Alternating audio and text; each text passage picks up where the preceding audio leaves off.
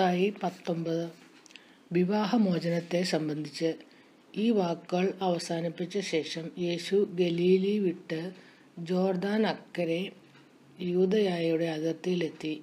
വലിയ ജനക്കൂട്ടങ്ങൾ അവനെ അനുഗമിക്കുകയും അവൻ അവിടെ വച്ച് അവരെ സുഖപ്പെടുത്തുകയും ചെയ്തു. പരിസയർ അടുത്തിയെന്ന് അവനെ പരീക്ഷിച്ചുകൊണ്ട് ചോദിച്ചു ഏതെങ്കിലും കാരണത്താൽ ഒരുവൻ ഭാര്യയെ ഉപേക്ഷിക്കുന്നത് നിയമാനുസൃതമാണോ? അവൻ മറുപടി പറഞ്ഞു സൃഷ്ടാവ് ആദ്യം മുതലേ അവരെ പുരുഷനും സ്ത്രീയുമായി സൃഷ്ടിച്ചു എന്നും ഇക്കാരണത്താൽ പുരുഷൻ പിതാവിനെയും മാതാവിനെയും വിട്ട് ഭാര്യയോട് ചേർന്നിരിക്കും. അവർ ഇരുവരും ഏക ശരീരമായി തീരും എന്ന് അവിടുന്ന് അള്ളി ചെയ്തിട്ടുണ്ടെന്നും നിങ്ങൾ വായിച്ചിട്ടില്ലേ? തന്മൂലം പിന്നീട് ഒരിക്കലും അവർ രണ്ടല്ല ഒറ്റ ശരീരമായിരിക്കും. ആകയാൽ ദൈവം യോജിപ്പിച്ചത് മനുഷ്യൻ വേർപെടുത്താതിരിക്കട്ടെ. അവർ അവനോട് ചോദിച്ചു അങ്ങനെയെങ്കിൽ ഉപേക്ഷാപത്രം നൽകി ഭാര്യയെ ഉപേക്ഷിക്കാമെന്ന് മോശ വിധിച്ചതെന്തുകൊണ്ട്? അവൻ പറഞ്ഞു നിങ്ങളുടെ ഹൃദയ കാഠിന്യ നിമിത്തമാണ് ഭാര്യയെ ഉപേക്ഷിക്കാൻ മോശ നിങ്ങൾക്ക് അനുമതി നൽകിയത്. ആദ്യം മുതലേ അങ്ങനെ ആയിരുന്നില്ല. എന്നാൽ ഞാൻ നിങ്ങളോട് പറയുന്നു പരസംഗം മൂലമല്ലാതെ മറ്റേതെങ്കിലും കാരണത്താൽ ഭാര്യയെ ഉപേക്ഷിച്ച് മറ്റൊരുവളെ വിവാഹം ചെയ്യുന്നവൻ വ്യഭിചാരം ചെയ്യുന്നു. ശിഷ്യന്മാർ അവനോട് പറഞ്ഞു ഭാര്യാഭർത്തൃ ബന്ധം ഇത്തരത്തിലുള്ളതെങ്കിൽ വിവാഹം ചെയ്യാതിരിക്കുന്നതാണല്ലോ ഭേദം. അവൻ പറഞ്ഞു കൃപ ലഭിച്ചവരല്ലാതെ മറ്റാരും ഈ ഉപദേശം ഗ്രഹിക്കുന്നില്ല. എന്തെന്നാൽ ഷണ്ടരായി ജനിക്കുന്നവരുണ്ട്. മനുഷ്യരാൽ ഷണ്ടരാക്കപ്പെടുന്നവരുണ്ട് സ്വർഗരാജ്യത്തെ പ്രതി തങ്ങളെ തന്നെ ഷണ്ടരാക്കുന്നവരുണ്ട് ഗ്രഹിക്കാൻ കഴിവുള്ളവൻ ഗ്രഹിക്കട്ടെ.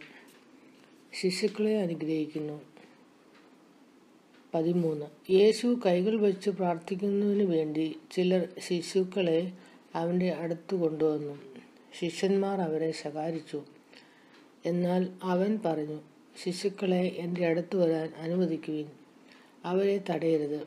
എന്തെന്നാൽ സ്വർഗരാജ്യം അവരെപ്പോലെയുള്ളവരുടേതാണ്. അവൻ അവരുടെ മേൽ കൈകൾ വച്ച ശേഷം അവിടുന്ന് പോയി. ധനികനായ യുവാവ് പതിനാറ്. ഒരാൾ അവനെ സമീപിച്ച് ചോദിച്ചു ഗുരു നിത്യജീവൻ പ്രാപിക്കാൻ ഞാൻ എന്തു നന്മയാണ് ചെയ്ത് പ്രവർത്തിക്കേണ്ടത്? അവൻ പറഞ്ഞു നന്മയെപ്പറ്റി നീ എന്നോട് ചോദിക്കുന്നത് ചോദിക്കുന്നതെന്തിന് നല്ലവൻ ഒരു മാത്രം. ജീവനിൽ പ്രവേശിക്കാൻ അഭിലഷിക്കുന്നുവെങ്കിൽ പ്രമാണങ്ങൾ അനുസരിക്കുക. അവൻ ചോദിച്ചു ഏതെല്ലാം?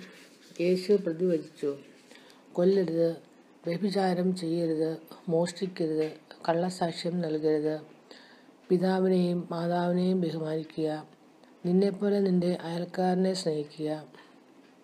ആ യുവാവ് ചോദിച്ചു ഇവയെല്ലാം ഞാൻ അനുസരിച്ചിട്ടുണ്ട് ഇനിയും എന്താണ് എനിക്ക് കുറവ്? യേശു പറഞ്ഞു നീ പൂർണനാകാൻ ആഗ്രഹിക്കുന്നെങ്കിൽ പോയി നിനക്കുള്ളതെല്ലാം വിറ്റ് ദരിദ്രർക്ക് കൊടുക്കുക. അപ്പോൾ സ്വർഗത്തിൽ നിനക്ക് നിക്ഷേപം ഉണ്ടാകും. പിന്നെ വന്ന് എന്നെ അനുഗമിക്കുക. ഈ വചനം കേട്ട് ആ യുവാവ് സങ്കടത്തോടെ തിരിച്ചുപോയി. അവന് വളരെയേറെ സമ്പത്തുണ്ടായിരുന്നു. ഇരുപത്തിമൂന്ന്. യേശു ശിഷ്യന്മാരോട് അരളി ചെയ്തു. സത്യമായി ഞാൻ നിങ്ങളോട് പറയുന്നു.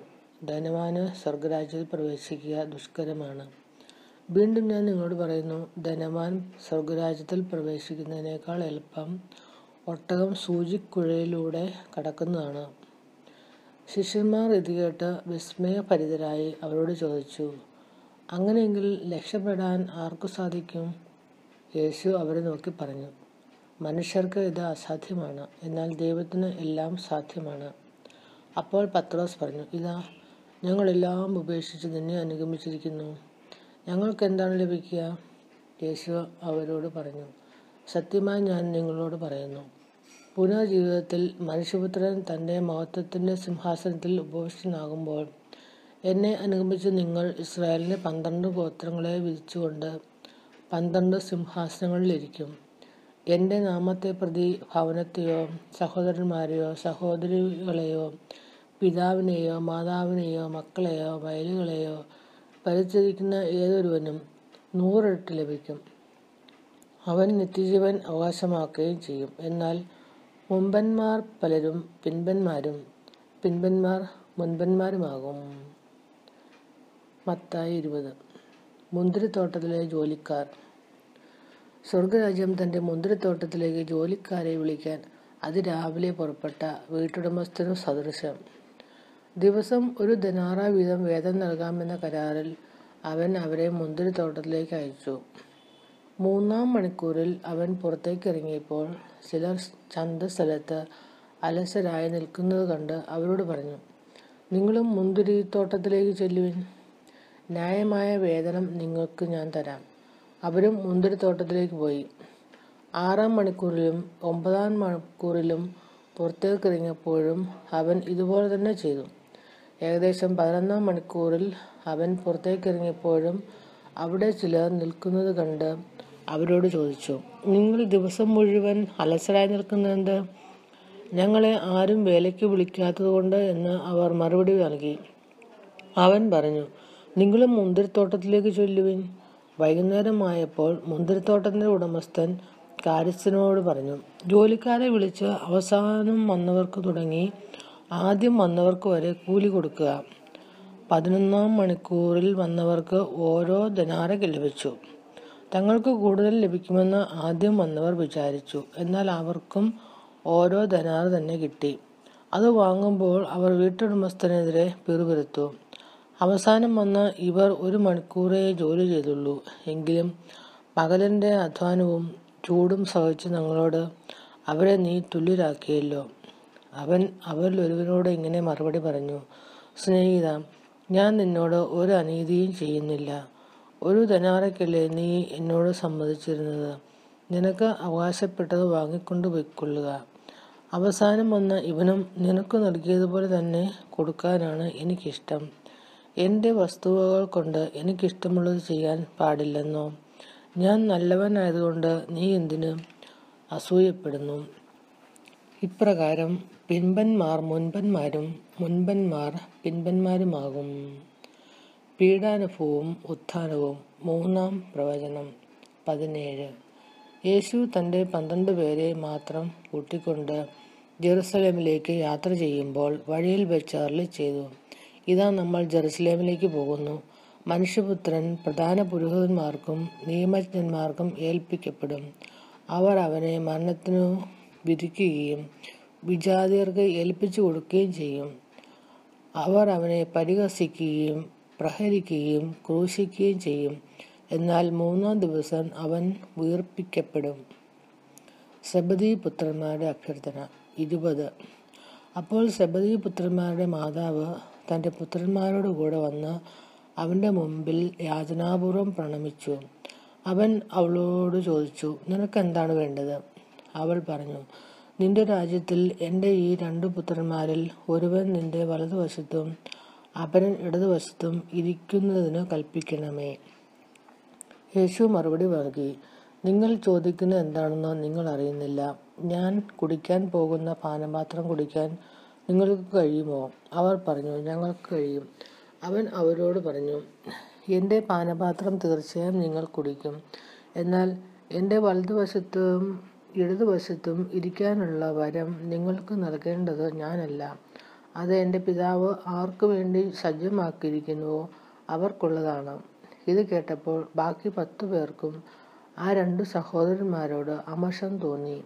എന്നാൽ യേശു അവരെ അടുത്ത് വിളിച്ച് ഇപ്രകാരം പറഞ്ഞു വിജാതിയുടെ ഭരണകർത്താക്കൾ അവരുടെ മേൽ യജമാനത്വം പുലർത്തുന്നുവെന്നും അവരുടെ പ്രമാണികൾ അവരുടെ മേൽ അധികാരം പ്രയോഗിക്കുന്നുവെന്നും നിങ്ങൾക്കറിയാമല്ലോ.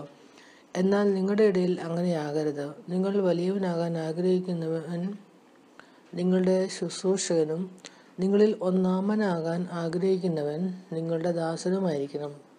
ശുശ്രൂഷിക്കപ്പെടാനല്ല ശുശ്രൂഷിക്കാനും അനേകരുടെ മോചനദ്രവ്യമായി സ്വജീവൻ കൊടുക്കാനും മനുഷ്യപുത്രൻ വന്നിരിക്കുന്നത് പോലെ തന്നെ. അന്തർക്കു കാഴ്ച ഇരുപത്തൊമ്പത്. അവൻ ജെറിക്കോയിൽ നിന്ന് യാത്ര പുറപ്പെട്ടപ്പോൾ ഒരു വലിയ ജനക്കൂട്ടം അവനെ അനുഗമിച്ചു. യേശു ആ വഴി കടന്നു പോകുന്നു എന്ന് കേട്ടപ്പോൾ വഴിയിൽ വഴിയരികിലിരുന്ന രണ്ട് അന്ധന്മാർ ഉച്ചത്തിൽ നിലവിളിച്ചു. കർത്താവെ ദാവീദിന്റെ പുത്ര ഞങ്ങളിൽ കനിയണമേ. മിണ്ടാതിരിക്കാൻ പറഞ്ഞുകൊണ്ട് ജനക്കൂട്ടം അവരെ ശാസിച്ചു. അവരാകട്ടെ കർത്താവെ ദാവീദിന്റെ പുത്ര ഞങ്ങളിൽ കനിയണമേ എന്ന് കൂടുതൽ ഉച്ചത്തിൽ നിലവിളിച്ചു. പറയുന്നു. യേശു അവിടെ നിന്ന് അവരെ വിളിച്ചു ചോദിച്ചു ഞാൻ നിങ്ങൾക്ക് എന്ത് ചെയ്യണമെന്നാണ് നിങ്ങൾ ആഗ്രഹിക്കുന്നത്? അവർ പറഞ്ഞു കർത്താവെ ഞങ്ങൾക്ക് കണ്ണുകൾ തുറന്നു കിട്ടണം.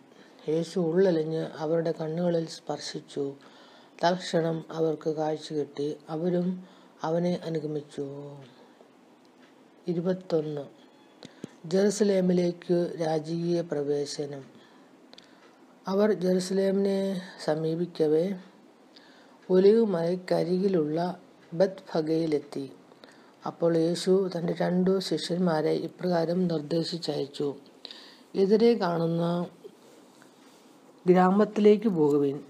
അവിടെ ഒരു കഴുതയെയും അടുത്ത് അതിന്റെ കുട്ടിയെയും കെട്ടിയിരി ഇരിക്കുന്നത് ഉടനെ നിങ്ങൾ കാണും. അവയെ അഴിച്ച് എന്റെ അടുക്കൽ കൊണ്ടുവരിക. ആരെങ്കിലും നിങ്ങളോട് എന്തെങ്കിലും ചോദിച്ചാൽ കർത്താവിന് അവയെ കൊണ്ട് ആവശ്യമുണ്ടെന്ന് പറയുക. അവൻ ഉടനെ തന്നെ അവയെ വിട്ടുതരും. പ്രവാചകൻ വഴി പറയപ്പെട്ട വചനം പൂർത്തിയാകാനാണ് ഇത് സംഭവിച്ചത്. സിയോൻ പുത്രിയോട് പറയുക ഇതാ നിന്റെ രാജാവ് ബിനിയാനിതനായി കഴുതയുടെയും കഴുതക്കുട്ടിയുടെയും പുറത്ത് നിന്റെ അടുത്തേക്ക് വരുന്നു. ശിഷ്യന്മാർ പോയി യേശു കൽപ്പിച്ചതുപോലെ ചെയ്തു. അവർ കഴുതയെയും കഴുതക്കുട്ടിയെയും കൊണ്ടുവന്ന് അവയുടെ മേൽ വസ്ത്രങ്ങൾ വിരിച്ചു. അവൻ കയറിയിരുന്നു. ജനക്കൂട്ടത്തിൽ വളരെ പേർ വഴിയിൽ തങ്ങളുടെ വസ്ത്രങ്ങൾ വിരിച്ചു. മറ്റു ചിലരാവട്ടെ വൃക്ഷങ്ങളിൽ നിന്ന് ചില്ലകൾ മുറിച്ച് വഴിയിൽ നിരത്തി. യേശുവിന് മുമ്പിലും പിമ്പിലും നടന്നിരുന്ന ജനങ്ങൾ ആർത്തു വിളിച്ചു ദാവീദിന്റെ പുത്രന് ഹോസാന കർത്താവിന്റെ നാമത്തിൽ വരുന്നവൻ അനുഗ്രഹീതൻ ഉന്നതങ്ങളിൽ ഹോസാന. അവൻ ജെറുസലേമിൽ പ്രവേശിച്ചപ്പോൾ നഗരം മുഴുവൻ ഇളകി വശായി. ആരാണിവനെന്ന് ചോദിച്ചു. ജനക്കൂട്ടം പറഞ്ഞു ഇവൻ ഗലീലിയിലെ നസറത്തിൽ നിന്നുള്ള പ്രവാചകനായ യേശുവാണ്. ദേവാലയ ശുദ്ധീകരണം പന്ത്രണ്ട്. യേശു ദേവാലയത്തിൽ പ്രവേശിച്ച് അവിടെ കയ ക്രയവിക്രയം ചെയ്തുകൊണ്ടിരുന്നവരെ എല്ലാം പുറത്താക്കി. നാണയമാറ്റക്കാരുടെ മേശകളും പ്രാവ് വിൽപ്പനക്കാരുടെ ഇരിപ്പിടങ്ങളും അവൻ തട്ടിമറിച്ചിട്ടു. അവൻ അവരോട് പറഞ്ഞു എന്റെ ഭവനം പ്രാർത്ഥനാലയം എന്ന് വിളിക്കപ്പെടും എന്ന് എഴുതപ്പെട്ടിരിക്കുന്നു. നിങ്ങളോ അത് കവർച്ചക്കാരുടെ ഗുഹയാക്കുന്നു. അന്ധന്മാരും മുടന്തന്മാരും ദേവാലയത്തിൽ അവന്റെ അടുത്തെത്തി. അവൻ അവരെ സുഖപ്പെടുത്തി. അവൻ ചെയ്ത വിസ്മയകരമായ പ്രവൃത്തികളെയും ദാവിദിന്റെ പുത്രന് ഓസാന എന്ന് ഉദ്ഘോഷിച്ച് ദേവാലയത്തിൽ ആർപ്പുവിളിക്കുന്ന കുട്ടികളെയും കണ്ടപ്പോൾ പ്രധാന പുരോഹിതന്മാരും നിയമജ്ഞരും രോഷാകുലരായി. അവർ അവനോട് പറഞ്ഞു ഇവൻ എന്താണ് പറയുന്നതെന്ന് നീ കേൾക്കുന്നില്ലേ? യേശു പ്രതിവചിച്ചു ഉപ ശിശുക്കളുടെയും മുല കുടിക്കുന്നവരുടെയും അധരങ്ങളിൽ നീ സ്തുതിയൊരുക്കി എന്ന് നിങ്ങൾ ഒരിക്കലും വായിച്ചിട്ടില്ലേ? അനന്തരം അവൻ അവരെ വിട്ട് നഗരത്തിൽ നിന്ന് ബഥാനിയയിലേക്ക് പോയി അവിടെ താമസിച്ചു. അത്തിവൃക്ഷത്തെ ശപിക്കുന്നു. പതിനെട്ട്. പ്രഭാതത്തിൽ നഗരത്തിലേക്ക് പോകുമ്പോൾ അവന് വിശന്നു. വഴിയരികിൽ ഒരു അത്തിവൃക്ഷം കണ്ട് അവൻ അതിന്റെ അടുത്തെത്തി. എന്നാൽ അതിൽ ഇലകളല്ലാതെ ഒന്നും കണ്ടില്ല. അവൻ അതിനോട് പറഞ്ഞു ഇനി ഒരിക്കലും നിന്നിൽ ഫലം ഫലങ്ങൾ ഉണ്ടാകാതിരിക്കട്ടെ ആ നിമിഷം തന്നെ ആ അത്തിവൃക്ഷം ഉണങ്ങിപ്പോയി. ഇത് കണ്ട് ശിഷ്യന്മാർ അത്ഭുതപ്പെട്ടു. ആ അത്തിവൃക്ഷം ഇത്ര വേഗം ഉണങ്ങിപ്പോയത് എങ്ങനെയെന്ന് ചോദിച്ചു. യേശു പറഞ്ഞു സത്യമായി ഞാൻ നിങ്ങളോട് പറയുന്നു നിങ്ങൾ വിശ്വസിക്കുകയും സംശയിക്കാതിരിക്കുകയും ചെയ്താൽ അത്തിവൃക്ഷത്തോട് ഞാൻ ചെയ്തത് മാത്രമല്ല നിങ്ങൾക്ക് ചെയ്യാൻ കഴിയുക. ഈ മലയോട് ഇവിടെ നിന്ന് മാറി കടലിൽ ചെന്ന് വീഴുക എന്ന് നിങ്ങൾ പറഞ്ഞാൽ അതും സംഭവിക്കും. വിശ്വാസത്തോടെ പ്രാർത്ഥിക്കുന്നതെല്ലാം നിങ്ങൾക്ക് ലഭിക്കും. യേശുവിന്റെ അധികാരം. ഇരുപത്തിമൂന്ന്. അവൻ ദേവാലയത്തിലെത്തി പഠിപ്പിച്ചുകൊണ്ടിരിക്കുമ്പോൾ പ്രധാന പുരോഹിതന്മാരും ജനപ്രമാണികളും അവനെ സമീപിച്ചു ചോദിച്ചു എന്ത് അധികാരത്താലാണ് നീ ഇതൊക്കെ ചെയ്യുന്നത്? നിനക്ക് ഈ അധികാരം നൽകിയത് ആരാണ്? യേശു പറഞ്ഞു ഞാൻ നിങ്ങളോട് ഒന്ന് ചോദിക്കട്ടെ നിങ്ങൾ എന്നോട് ഉത്തരം പറഞ്ഞാൽ എന്ത് അധികാരത്തിലാണോ ഞാൻ ഇവയൊക്കെ ചെയ്യുന്നതെന്ന് നിങ്ങളോടും പറയാം. യോഹന്നാന്റെ ജ്ഞാനസ്നാനം എവിടെ നിന്നായിരുന്നു? സ്വർഗത്തിൽ നിന്നോ മനസ്സിൽ നിന്നോ? അവർ പരസ്പരം ആലോചിച്ചു സ്വർഗത്തിൽ നിന്ന് എന്ന് നാം പറഞ്ഞാൽ പിന്നെ എന്തുകൊണ്ട് നിങ്ങൾ അവനെ വിശ്വസിച്ചില്ല എന്ന് അവർ ചോദിക്കും. മനുഷ്യരിൽ നിന്ന് എന്ന് പറഞ്ഞാലോ? നാം ജനക്കൂട്ടത്തെ ഭയപ്പെടുന്നു. എന്തെന്നാൽ എല്ലാവരും യോഹന്നാനെ ഒരു പ്രവാചകനായി പരിഗണിക്കുമെന്നു.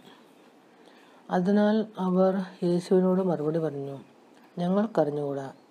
അപ്പോൾ അവൻ പറഞ്ഞു എന്ത് അധികാരത്താലാണ് ഞാനിത് ചെയ്യുന്നതെന്ന് നിങ്ങളോട് ഞാനും പറയുന്നില്ല.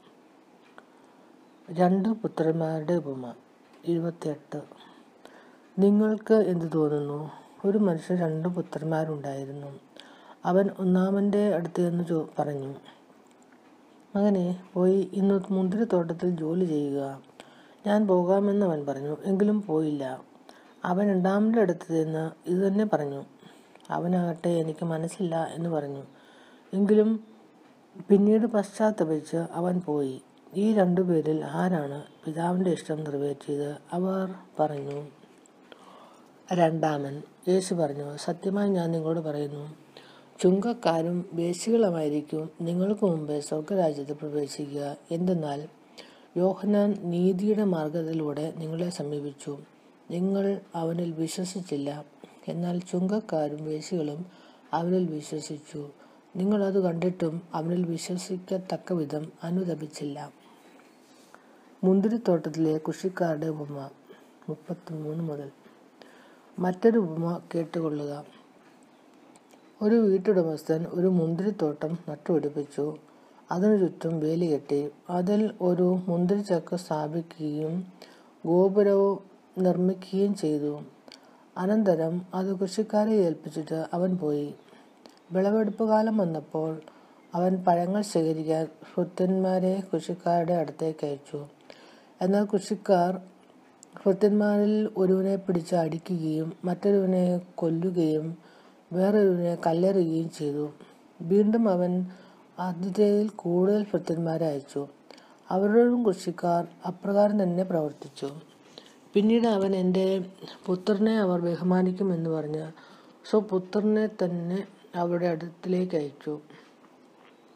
അവനെ കണ്ടപ്പോൾ കൃഷിക്കാർ പരസ്പരം പറഞ്ഞു ഇവരാണ് അവകാശി. വരുവിൻ നമുക്കിവനെ കൊന്ന് അവകാശം കരസ്ഥമാക്കാം. അവർ അവനെ പിടിച്ച് മുന്തിരിത്തോട്ടത്തിന് വെളിയിലേക്ക് എറിഞ്ഞു കൊന്നുകളഞ്ഞു. അങ്ങനെയെങ്കിൽ മുന്തിരിത്തോട്ടത്തിന്റെ ഉടമസ്ഥൻ വരുമ്പോൾ അവൻ ആ കൃഷിക്കാരോട് എന്തു ചെയ്യും? അവൻ പറഞ്ഞു അവർ പറഞ്ഞു അവൻ ആ ദുഷ്ടനെ നിഷ്ഠൂരമായി നശിപ്പിക്കുകയും യഥാകാലം ഫലം കൊടുക്കുന്ന മറ്റു കൃഷിക്കാരെ മുന്തിരിത്തോട്ടം ഏൽപ്പിക്കുകയും ചെയ്യും. യേശു അവരോട് ചോദിച്ചു പണിക്കാർ ഉപേക്ഷിച്ചു കളഞ്ഞ കല്ല് തന്നെ മൂലക്കല്ലായി തീർന്നു. ഇത് കർത്താവിന്റെ പ്രവൃത്തിയാണ്. നമ്മുടെ ദുഷ്ടികൾക്ക് ഇത് അത്ഭുതകരമായിരിക്കുന്നു എന്ന് വിശുദ്ധ ലിഖിതത്തിൽ നിങ്ങൾ വായിച്ചിട്ടില്ലേ? അതുകൊണ്ട് ഞാൻ നിങ്ങളോട് പറയുന്നു ദൈവരാജ്യം നിങ്ങളിൽ നിന്നെടുത്ത് ഫലം പുറപ്പെടുവിക്കുന്ന ജനതയ്ക്ക് നൽകപ്പെടും. ഈ കല്ലിൽ വീഴുന്നവർ തകർന്നു പോകും ഇത് ആരുടെ മേൽ വീഴുന്നുവോ അവനെ അത് ധൂളിയാക്കും. പ്രധാന പുരോഹിതന്മാരും ഫരിസേയരും അവന്റെ ഉപമകൾ കേട്ടപ്പോൾ അവൻ തങ്ങളെപ്പറ്റിയാണ് സംസാരിക്കുന്നതെന്ന് മനസ്സിലാക്കി. അവർ അവനെ പിടികൂടാൻ ശ്രമിച്ചെങ്കിലും ജനക്കൂട്ടത്തെ ഭയപ്പെട്ടു. കാരണം ജനങ്ങൾ അവനെ പ്രവാചകനായി പരിഗണിച്ചിരുന്നു. മത്തായി ഇരുപത്തിരണ്ട്. വിവാഹ വിരുന്നിന്റെ ഉപമ. യേശു വീണ്ടും ഉപമകൾ വഴി അവരോട് സംസാരിച്ചു. സ്വർഗരാജ്യം തന്റെ പുത്രന് വേണ്ടി വിവാഹ വിരുന്നൊരുക്കിയ രാജാവിന് സദൃശം വിവാഹ വിരുന്നിന് ക്ഷണിക്കപ്പെട്ടവരെ വിളിക്കാൻ അവൻ കൃത്യന്മാരെ അയച്ചു. എന്നാൽ വരാൻ അവർ വിസമ്മതിച്ചു. വീണ്ടും അവൻ വേറെ കൃത്യന്മാരെ അയച്ചുകൊണ്ട് പറഞ്ഞു ഇതാ വിരുന്ന് സജ്ജമാക്കിയിരിക്കുന്നു. എന്റെ കാളകളെയും കൊഴുത്ത മൃഗങ്ങളെയും കൊന്ന് എല്ലാം തയ്യാറാക്കി കഴിഞ്ഞു.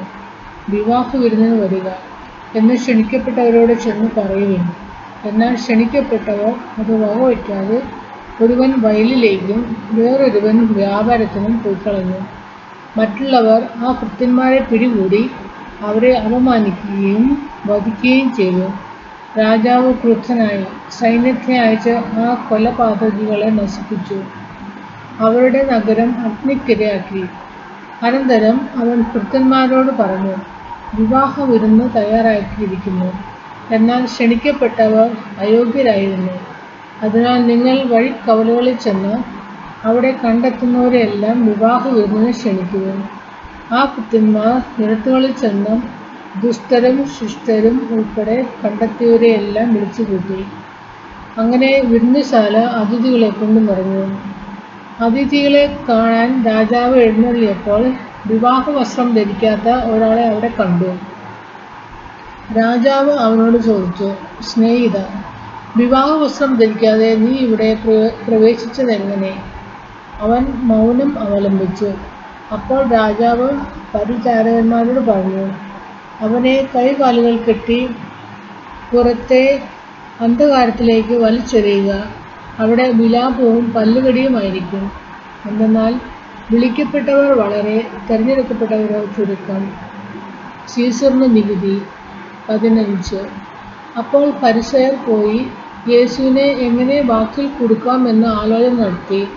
അവർ തങ്ങളുടെ അനുയായികളെ ഹെറോദേസ് പക്ഷക്കാരോടൊത്ത് അവന്റെ അടുത്ത് അയച്ചു ചോദിച്ചു. ഗുരു നീ സത്യവാനാണെന്നും ആരുടെയും മുഖം നോക്കാതെ നിർഭയനായി ദൈവത്തിന്റെ വഴി സത്യമായി പഠിപ്പിക്കുന്നുവെന്നും ഞങ്ങൾ അറിയുന്നു. അതുകൊണ്ട് ഞങ്ങളോട് പറയുക നിനക്ക് എന്ത് തോന്നുന്നു? സീസറിന് നീതി കൊടുക്കുന്നത് ഞാൻ നിയമാനുസൃതമാണോ അല്ലയോ? അവരുടെ ദുഷ്ടത മനസ്സിലാക്കിക്കൊണ്ട് യേശു പറഞ്ഞു കപടനാട്ടിക്കാരെ നിങ്ങൾ എന്നെ പരീക്ഷിക്കുന്നെന്ത് നികുതിക്കുള്ള നാണയം എന്നെ കാണിക്കുക. അവർ ഒരു ധനാര അവനെ കാണിച്ചു. യേശു ചോദിച്ചു ഈ രൂപവും ലിഖിതവും ആരുടേതാണ്? സീസറിന്റേത് എന്ന് അവർ പറഞ്ഞു അവൾ അരളി ചെയ്തു. സീസറിനുള്ളത് സീസറിനും ദൈവത്തിനുള്ളത് ദൈവത്തിനും കൊടുക്കുക. ഇത് കേട്ട് അവർ വിസ്മയഭരിതരായി അവനെ വിട്ടുപോയി. പുനരുത്ഥാനത്തെക്കുറിച്ച് ഇരുപത്തിമൂന്ന്. പുനരുത്ഥാനമില്ലെന്ന് പറയുന്ന സദുക്കായർ അന്ന് തന്നെ അവനെ സമീപിച്ച് ചോദിച്ചു ഗുരു ഒരുവൻ സന്താനമില്ലാതെ മരിച്ചാൽ അവന്റെ സഹോദരൻ ആ വിധവയെ വിവാഹം ചെയ്ത് സഹോദരന്റെ സന്താനങ്ങളെ ഉത്പാദിപ്പിക്കണമെന്ന് മോശ അനുശാസിച്ചിട്ടുണ്ട്. ഞങ്ങളുടെ ഇടയിൽ ഏഴ് സഹോദരന്മാരുണ്ടായിരുന്നു. ഒന്നാമൻ വിവാഹം ചെയ്തു. സന്താനമില്ലാതെ ഭാര്യയെ സഹോദരന് വിട്ടുകൊണ്ട് അവർ മരണമടഞ്ഞു. ഇങ്ങനെ തന്നെ രണ്ടാമനും മൂന്നാമനും അങ്ങനെ ഏഴാമൻ വരെയും. അവസാനം ആ സ്ത്രീയും മരിച്ചു. അതിനാൽ പുനരുത്ഥാനത്തിൽ അവൾ ഈ ഏഴുപേരിൽ ആരുടെ ഭാര്യയായിരിക്കും? അവർക്കെല്ലാം അവൾ ഭാര്യയായിട്ടുണ്ടല്ലോ. യേശു മറുപടി പറഞ്ഞു വിശുദ്ധ ലിഖിതങ്ങളോ ദൈവത്തിന്റെ ശക്തിയോ മനസ്സിലാകാത്തതിനാൽ നിങ്ങൾക്ക് തെറ്റുപറ്റിയിരിക്കുന്നു. പുനരുത്ഥാനത്തിൽ അവർ വിവാഹം ചെയ്യുകയോ ചെയ്തു കൊടുക്കുകയോ ഇല്ല. പിന്നെയോ അവർ സ്വർഗദൂതന്മാരെ പോലെ ആയിരിക്കും. ഞാൻ അബ്രാഹത്തിന്റെയും ദൈവവും ഇസാത്തിൻ ഇസഹാക്കിന്റെ ദൈവവും യാക്കോബിന്റെ ദൈവവുമാണ് എന്ന് മരിച്ചവരുടെ പുനരുത്ഥാനത്തെപ്പറ്റി ദൈവം നിങ്ങളോട് അല്ല ചെയ്തിരിക്കുന്നത് നിങ്ങൾ വായിച്ചിട്ടില്ലേ? അവിടുന്ന് മരിച്ചവരുടെ അല്ല ജീവിക്കുന്നവരുടെ ദൈവമാണ്. ജനക്കൂട്ടം ഇത് കേട്ടപ്പോൾ അവന്റെ പ്രബോധനത്തെപ്പറ്റി ആശ്ചര്യപ്പെട്ടു. സുപ്രധാന കൽപ്പനകൾ മുപ്പത്തിനാല് മുതൽ യേശു സദുക്കായരെ വാക്കുമുട്ടിച്ചെന്ന് കേട്ടപ്പോൾ പരിസേയർ ഒന്നിച്ചുകൂടി അവരിൽ ഒരു നിയമപണ്ഡിതൻ അവനെ പരീക്ഷിക്കാൻ ചോദിച്ചു. ഗുരു നിയമത്തിലെ അതിപ്രധാനമായ കൽപ്പന ഏതാണ്? അവൻ പറഞ്ഞു നീ നിന്റെ ദൈവമായ കർത്താവിനെ പൂർണ ഹൃദയത്തോടും പൂർണ ആത്മാവോടും പൂർണ മനസ്സോടും കൂടെ സ്നേഹിക്കുക. ഇതാണ് പ്രധാനവും പ്രഥമവുമായ കൽപ്പന. രണ്ടാമത്തെ കൽപ്പനയും ഇതിന് തുല്യം തന്നെയാണ്. അതായത് നിന്നെപ്പോലെ നിന്റെ അയൽക്കാരനെയും സ്നേഹിക്കുക. ഈ രണ്ട് കൽപ്പനകളിൽ സമസ്ത നിയമവും പ്രവാചകന്മാരും അധിഷ്ഠിതമായിരിക്കുന്നു. ക്രിസ്തു ദാവീദിന്റെ പുത്രൻ. പരിസയർ ഒരുമിച്ച് കൂടിയപ്പോൾ യേശു അവരോട് ചോദിച്ചു നിങ്ങൾ ക്രിസ്തുവിനെ പറ്റി എന്ത് വിചാരിക്കുന്നു? അവൻ ആരുടെ പുത്രനാണ്? ദാവീദിന്റെ എന്ന് അവർ പറഞ്ഞു അവൻ ചോദിച്ചു അങ്ങനെയെങ്കിൽ ദാവീദ് ആത്മാവിനാൽ പ്രചോദിതനായി അവനെ കർത്താവ് എന്ന് വിളിക്കുന്നത് എങ്ങനെ? അവൻ പറയുന്നു കർത്താവ് എന്റെ കർത്താവിനോട് അരുളി ചെയ്തു ഞാൻ നിന്റെ ശത്രുക്കളെ നിന്റെ പാദങ്ങൾക്ക് കീഴിലാക്കുവോളം നീ എന്റെ വലതുഭാഗത്ത് ഉപവിഷ്ടനാവുക. ദാവീദ് അവനെ കർത്താവെ എന്ന് വിളിക്കുന്നുവെങ്കിൽ അവനെ അവന്റെ പുത്രനാവുന്നത് എങ്ങനെ? അവനോട് ഉത്തരമായി ഒരു വാക്കുപോലും പറയാൻ ആർക്കും കഴിഞ്ഞില്ല. അന്നു മുതൽ അവനോട് എന്തെങ്കിലും ചോദിക്കാൻ ആരും ധൈര്യപ്പെട്ടുമില്ല.